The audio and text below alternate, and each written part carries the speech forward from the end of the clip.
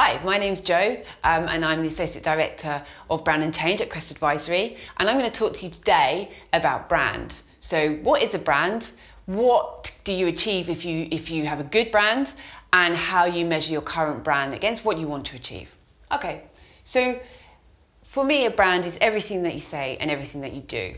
Um, it's really important that you consider your brand in the round. So you look at your comms, your products and services, your behaviours in your environments. And all of these elements need to be aligned. It's really, really tempting to get dragged into this com space. So to think only about, oh, how do we look? What do we say? What's our website look like? Um, and forget about these things here. These things here are very, very important because if you don't get these right, no matter what you say here, your brand won't deliver. Okay, so if you get it right, what does a good brand do for you? Well, um, I think it gives you clarity.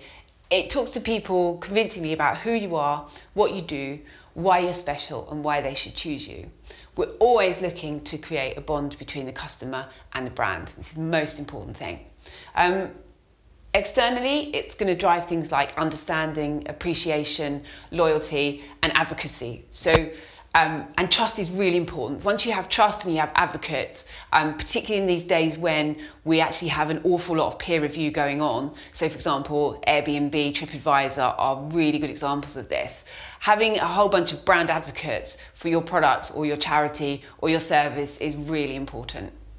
Okay, if you get it right, Internally, it's going to drive staff engagement, it's going to drive a, a, culture of innovation, productivity, and loyalty, and it's going to reduce those negative factors such as attrition um, and absence, and all of those things that actually build a negative culture within your organisation.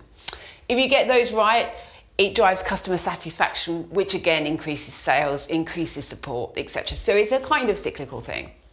So, okay, that's all very good. Um, how do we know how our brand's um, standing up at the moment? Well, if you've got a really good idea of your business strategy, you know what you're trying to achieve, um, talk to people, say, okay, so we want to achieve this. You know, what are your perceptions of our brand? How are we doing? And if there are things that aren't quite in line, then okay, let's talk about how we might fix those. Um, look at your competition and your marketplace. So, how are your competition uh, portraying themselves? Are they, you know, how are they talking about themselves? Is there anything we can use as a lever for our own brand to create that kind of space in people's minds? Um, every organisation has an enormous amount of facts. So, whether it be staff surveys, customer surveys, whether it be um, things like web stats, um, you know, all of those kind of business analyst stuff. Have a look at that and just see if, if your brand is helping you to achieve those aims or is hindering it. Um, and I would say always return to your quadrant. So look at this and just say, do we have authenticity, coherence?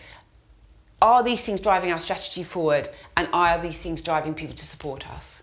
Um, I hope this has been really useful for you. Um, my name's Jo and I am the Associate Director of Brand and Change at Crest. We would love to talk to you about your brand. Um, I really hope you get in touch. Thank you very much for listening. Goodbye.